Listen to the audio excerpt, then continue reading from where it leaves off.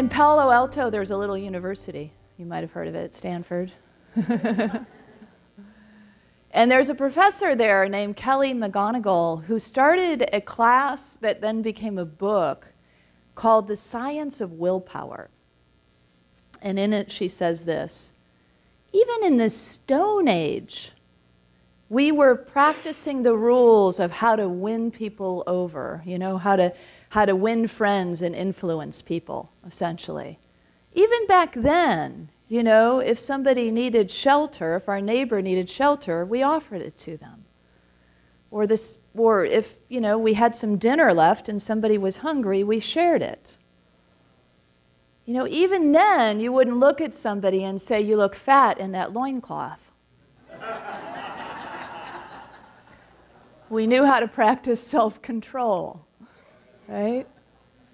And that's really a big part of what the power of will is about. It's both that deep, beautiful surrender, giving over, melding into oneness. And then it's the putting the feet to the prayers, the part that is, is, is really just ours as a creature, a form you know, that is just ours to embody the divine. It is our work to surrender to it, to recognize who we are. That's the willing part of the power of will. And then there is the willpower part of will that puts feet to it, that puts action to it. So, this power that is the seventh of our 12 powers is really an embodiment of both, a full embodiment, really, of the divine and the human aspects of who we are, the wholeness of who we are. And so, in this um, series, if you're just joining us, I like to every so often just remind people of where we are. All summer long, we've been studying the 12 powers, which is really a key teaching of unity. Co founder Charles Fillmore really put forth the 12 powers. And the idea is that there are these different aspects of our divinity, different aspects of being that make up the whole. So as we look at each one, break down each one, look at each one and say, what is it to be in the full power of will, the full power of faith, to activate the power of the imagination or the divine power of love or wisdom or strength or, or power or understanding? What does it look like for us to be in that, to open up to that power? And today's power is will, willingness to open to receive, to be, to meld into. Willingness, then, or willpower to carry it through. So, can you guess the number one reason why people say that they don't follow up on their goals? The what happens, what they're lacking is willpower, they say to see it through, to stay the course, to follow through on that intention, whatever that intention may have been. In Romans 7, it says, I do not understand what I do. For what I want to do, I do not do. And what I hate, I do. This I keep on doing. I have the desire to do what is good, but I cannot carry it out. Wise words from Paul. Because how many of us can relate? Can anybody relate to this? So I, I'm guessing by laughter that we can relate, right? So we find ourselves, you know, not understanding what I do. I have a desire to do this way, and then I do it this way. You know, it's like there's the, the Fitbit part of us, and there's the Cookie Monster part of us, right? Which one will win, you know? You know, it's like the story of the Native American grandfather who's telling his grandson, you know, there's a wolf inside my head that's barking, you know, take revenge. And there's a wolf inside my head that's saying peace and harmony. And the, the boy with, you know, eyes big as saucers says, Grandpa, which one's going to win? And Grandpa says, whichever one I feed. Right? We can always choose. Which one will we feed? Fitbit or Cookie Monster, you know? You know, we may have the intention to, to say, take more walks and take better care of ourselves. And then we get home and we grab the junk food and the remote control, and pretty soon we lose our will to go for that walk, right? Because we've taken a different course. Or we have an intention that we're going to bolster our spiritual practice, and so we, you know, set out to, oh, I'm going to start my day with prayer and meditation, but then we get caught up in whatever it is that we're doing that day, and we get busy doing that thing, whatever it is, our work or whatever it is, and, and by the end of the day, we feel depleted because we didn't really set that, that space, right? But here's the worst thing we can do when we find ourselves slipping from what we intended is then this is the, the willpower failure double whammy. So, so, okay, so we didn't do what we said we were going to do, and now we're going to give ourselves a really hard time about it. Anybody ever do that? Oh, yeah, so it's guilt and shame and run over it again and again and again. So, what good does that do, right? And in fact, research plays out that if we go that route of beating ourselves up, we actually fail more because we need more comfort. so, we're going to reach for more of those outer comforts because we've now made ourselves feel very small. So instead, what could we do? Well, if we go within, there we will find the forgiveness. There we will find the ease. There we will find some, some graciousness and generosity for ourselves. And then we can kind of relax into, oh, okay, I can just reset my intention. It's not that serious, you know? It doesn't have to create this doom and gloom over us. So it really comes down to immediate gratification and long term goals. You know, so if we set what it is that we want to do in a longer term space and we stay the course with that, as my friend Albert used to say, keep your eye on the prize. In fact, he would close out our time together often with saying, I wish you, just so genuinely, I wish you happiness and I wish you prosperity. Keep your eye on the prize. And Albert, you know, against all odds, did a bunch of things. He was an African American gay man. He did. He got a PhD. He moved himself up in the state in all kinds of government positions. He came out to his family, which was a really big deal. And time and time again, he was the kind of guy who kept his eye on the prize. But what is the prize? The prize is a goal, yes, and it's a personal goal sometimes but he also always had his eye on what served everyone, not just what served himself. And so that is a big part of our will as a spiritual power, is that it's part of the greater good. It's understood in the context of it's not just about me, but it's about all. And so we can put it in that context by asking the question of ourselves what serves? At any given moment, what serves? And it will open us up into greater possibilities and ideas and thoughts and ways of being that get us closer to that experience that we just had of, of opening into and melding into the oneness that is the truth of who we are. So, asking what serves and then recognizing that if there is a sense of, well, what serves me in the moment, what serves the greater good, feels like it's at odds, well, then we just sit with that a little bit and see, you know, what's, what, what's to be known, what's, what's to be seen and experienced through us. What is, what is the spirit of our being telling us? And that's where we follow we get really confused on this thing called will about God's will and our will and are the two things different? Which one am I following? And what does God really want me to do? And if I surrender to that, what will, you know, what's going to happen with my life? And there's a lot of fear around that. So what is that? Why do we have this this, you know, difficulty with this idea? Well, the, the, it begs a question that comes before that, which is what is God?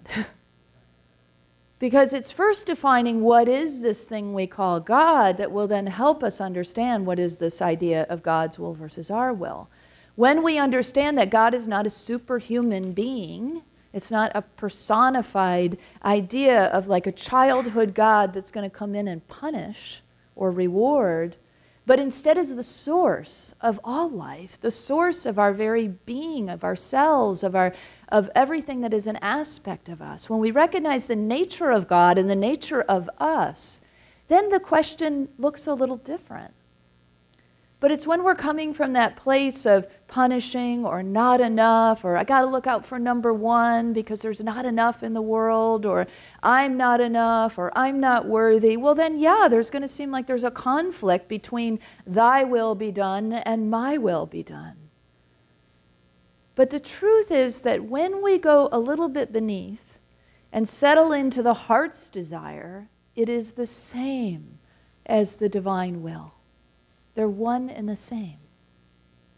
When I was in my 20s, I, um, well, when I was in college, my friends and I would go out, we'd have a couple drinks, and we started to have cigarettes. So I kind of got used to this, was part of the social thing that we did. When I was in my 20s and working, I, um, I, I, started to occasionally smoke as sort of, I called it my thinking tool. So I'd like sit on the back porch and think about my day and take these long drags on a cigarette, you know, that I'd seen my mother do for years, you know. And, but I also had this um, like heaviness in my lungs that I didn't really like. And so I had this sort of love hate relationship with it. You know, I would buy a pack, I'd smoke a few, and then I'd get disgusted and I'd throw it out, and then I'd buy a pack. Anybody relate to this sort of cycle? Yeah? and so, you know, then I got introduced to unity, and I got introduced to the practice of meditation. And I realized, aha, here it was me trying to create this excuse to just be. Because out of this sense of worthiness means being busy and producing, I wasn't allowing myself just to be. Like I had to be doing something, even if it was just like smoking a silly cigarette. You know, it was just like I had to be doing something in order to relax. And so I realized, oh, there is this great purpose and power in just being and just being still and being quiet. And there is an innate inherent goodness in us that I got introduced to in unity as well that shifted my thinking. And soon I realized I didn't need that nasty old habit to be. I could just give my permission, myself permission. So, was it God's will that I would start to smoke? Of course not. Was it my will? No.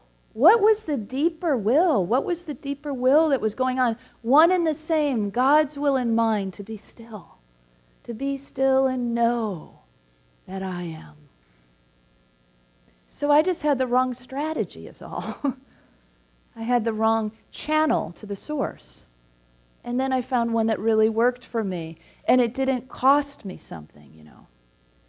So a lot of times we'll do things that cost us something because we don't have a better way. But that was a detrimental to my health way that it wasn't really working for me. I had all this conflict around it. And so, for all of us, we can begin to recognize that by when we drop in, when we notice ourselves reaching, reaching, reaching outside of ourselves, we can just say, wait, wait a second. What if I just reach within? What if I'm just still, even for a minute? What if I just slow my breath, even for a minute, drop into my heart, see what it is? What is it that, what is the will? What is the will that is thine and mine that are one and the same? What is the desire here, the need here? It opens up all kinds of ahas and insights when we do this. Simple practice, a breath, a moment, stillness. So, the power of will is not meant to be costly because it's, guess what? Free, right? Free will, it's the greatest gift we've been given. It's also a gift that takes courage to enact. Free will takes responsibility, which is maybe why our unity churches are not filled to overflowing every Sunday, but we'll keep bringing in more and more people who are willing to take responsibility for their own spiritual journey as that critical mass begins to shift in our world. More and more people will begin to flood into centers for spiritual living, unity churches, new thought places where they recognize, where people begin to recognize it's not so bad.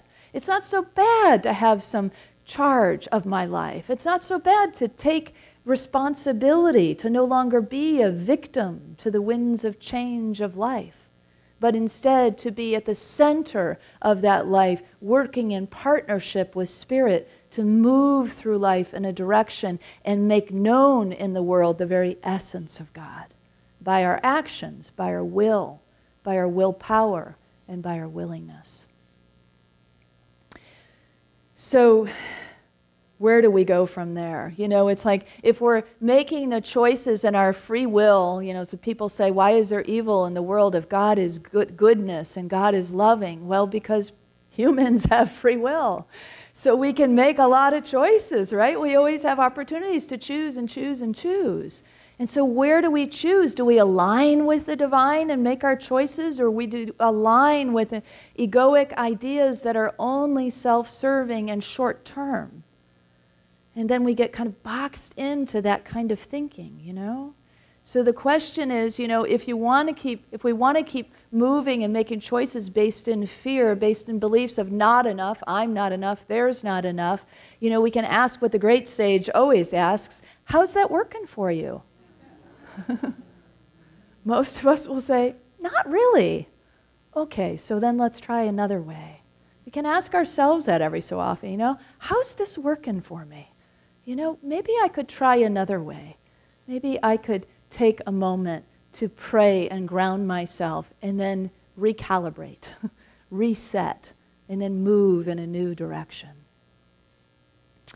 I was swimming yesterday and um, it was one of those, you know, ah, I don't know, the talk's still not totally together. And so I'm swimming will, basically, you know, the power of will, you know, just thinking about it and allowing and then going back to swimming and then just sort of coming back in and out of this. And I'm sharing my lap lane with one other swimmer, and as we're coming down, I see this man and his, presumably his child, but a small uh, child in his arms, and and you know, there's the shallow end for all the parents and children, and then there's the three lap lanes for the people who are swimming laps. And so he begins to sort of move around the lane and come toward us. And I'm thinking as I'm swimming toward him, is this man completely oblivious? Like, isn't he noticing that this is a lap lane and that all the, you know, so these are the, you know how that goes, starts going, right?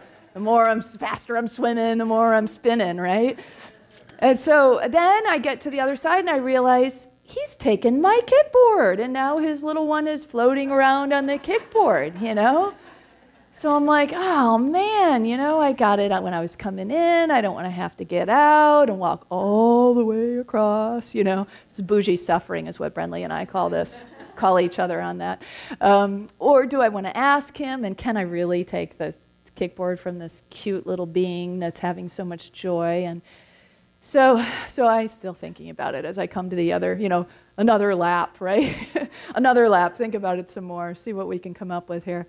And so then I began to go, okay, wait a second, you know, the power of will, willingness. What if I were willing? What if I were willing? What would happen if I were willing? And then suddenly it opens up from not just like my need and my ideas and, you know, la la la la la, to wow, I love watching men play with children, so engaged like that, so tender and so encouraging. You know, so, and I'm assuming it's a father and daughter, but it doesn't really matter. It's just like how sweet that he is, like, really, you know, enjoying showing her how fun it is to swim and how easy it is that she can do this with this. I mean, she was little, little tiny girl, like about as long as the kickboard. And, you know, so, so why, what am I doing getting all tied up about this? How ridiculous, you know? And as soon as I opened up to the greater good, to that idea of appreciation and engagement and recognizing what was really before me and came to the other side, they had already abandoned the kickboard and it was, you know, it was like not far away. But regardless, it wasn't my kickboard to begin with, right? So we get a little bit like, hmm, it's mine. And it's like, who said that was yours, you know?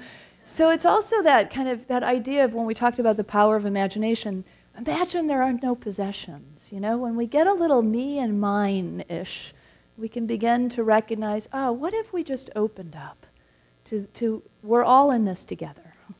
And if we're all in this together, what is the greatest thing happening right now? It's actually this man and this child playing and exploring swimming together. You know, that was actually the greatest thing that was happening in our lane. And so that maybe we can ask ourselves that what's the greatest thing that's happening in my lane right now, in this lane, you know? In this trajectory, in this space, in this sanctuary. It's, you know, what is the greatest thing that's happening in this sanctuary right now? It's not the words I'm speaking, it's the energy, right? It's the, it's the intentionality behind it. It's, it's the, the energy of coming together. It's the connection. It's the inspiration. It's the ahas. It's the realization. It's the sense of being part of a community, a place where we're all in this together and we know it. And we're working together and we're walking together and we're evolving together and we're using the power of will together and we're activating our ability and our willingness to surrender to the one and then act accordingly. I mean, wouldn't it be great if every person on earth was interested in doing this once a week? You know, I want to get infused with a little spirituality through music and through a message. I want to be I want to meditate and get, still my mind and I want to be in positive community together. If every person had that great privilege and gift, what a world we would create. What a world we are creating by being that for others right here. That is a willingness and a willpower, a power of will that allows us to stay the course and stay the course and stay the course. We have a mission here to teach universal spiritual principles, and we stay that course and we stay that course. We have core values that we embody love and connection and so on. And so we stay that course. It gives us the guidelines, but it doesn't mean we get, you know, myopic about it. We then open up. What does spirit, what does spirit have to say about what that is? How does that look when we infuse it with an understanding from Spirit? Same with our lives, same with our own goals, same with our own intentions, same with our intentions in our families and other organizations that we're a part of. We bring those intent, that power of will, that power of understanding or imagination or faith, all of the powers with us. So, uh, Joseph Goldstein was um, practicing this power of willingness. He didn't know. he was also practicing the power of willpower, which he was really aware of. Joseph Goldstein is a um, teacher of insight meditation, Western Vipassana, um, the, West, the Western version of Vipassana. Um, it's a Buddhist kind of meditation practice. And um, he was in, in study at the time when he was working with a Zen master in his early years Sasaki Roshi was his master. And um, Sasaki Roshi would have him come in. It was very strict. So he would meditate all day, and then he would come in four times a day to have an interview, essentially. But there would be a koan he was given, which is kind of like a riddle. And he would be meant to, you know, go off and meditate on the koan and then come back and give an answer. And so he comes in the first time, and the Roshi says, No, very stupid answer. It's like, oh, wow, okay. So then he goes back and meditates for another five or 10 hours, you know, on the next koan. And he comes back, and the, and the master teacher says, um, okay, but not very zen. All right? So then he gives him a chant. A, the, the koan is about a chant. And Joseph just knows it's not, he's not supposed to come back with some intellectual response to the thing about a chant, but he's actually supposed to chant. Now, this puts him in a complete tizzy because public singing is like the scariest thing you could possibly think for him to do, you know. So he goes into this space of absolute vulnerability, of worry. And so he uses his full willpower, right? I'm going to nail this thing. I'm going to get this right. I'm going to, you know, it's like that armor we put on when we're like getting in a place of force. So, so willpower can be like the, the staying the course, and it can also be like a driver. It can be like, you know, willfulness. We can get willful about it. And so he practices and he practices and he practices so he can be so, and it's very simple chant. And he gets in the room and he goes to open his mouth and chant, and it's just a complete train wreck. I mean, the words are jumbled and it, there's no melody, there's no rhythm to it. And he's just, you know, he's sweating, he's tense, he's nervous, he doesn't even want to make eye contact. And his teacher looks at him, and it's the first time he has felt this just pouring of warmth and compassion. And his teacher says, Very good. And so it is so very good when we are willing.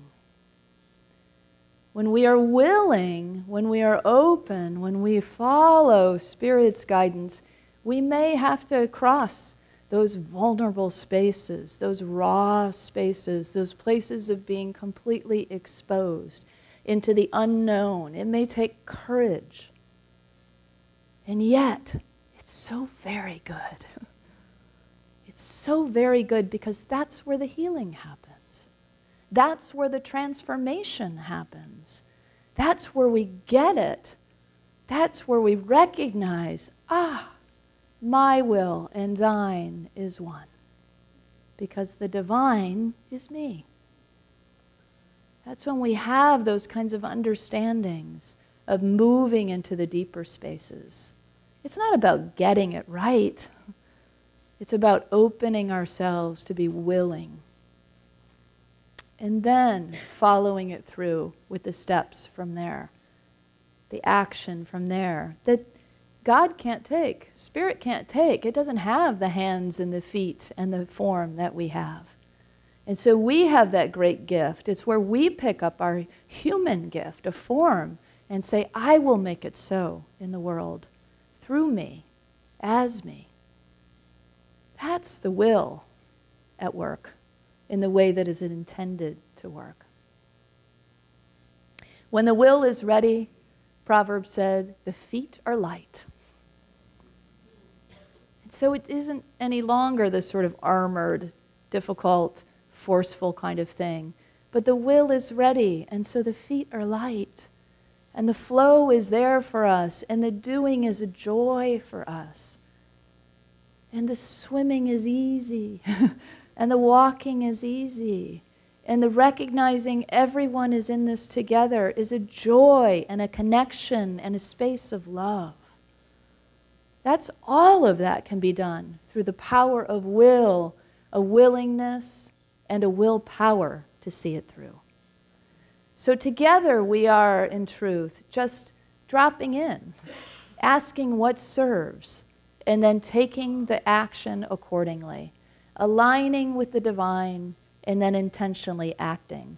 Let's affirm that knowing together as we work this power of will this week. Together, I align with the divine and take intentional action. And so it is.